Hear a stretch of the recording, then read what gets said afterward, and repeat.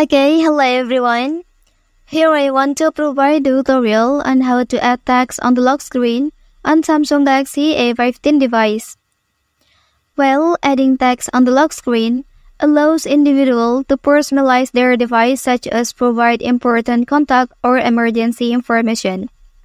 Not only that, this can also include birthday devices, special announcements, or reminder for specific events or occasions. Okay, and then how to do that on this device? Let's go to the tutorial. First thing you have to do is, please open settings menu on your device. Okay, after that, here you can select lock screen option. Well, after that, here will be there several lock screen settings on your device. And then to add text on the lock screen, you can select contact information here. After that, you can read this attention. That here you can enter your phone number and email address that it will help people to contact you when your device is lost.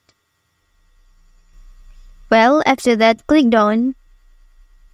And then here you can check that the text is successfully added to lock screen on your device. Well, that's the tutorial on how to add text on the lock screen on Samsung Galaxy A15 device.